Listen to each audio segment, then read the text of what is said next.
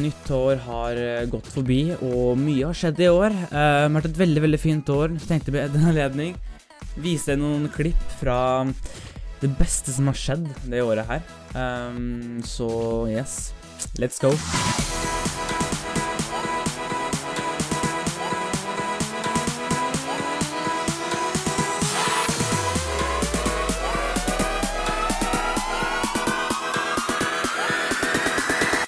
Yeah. We'll be right back.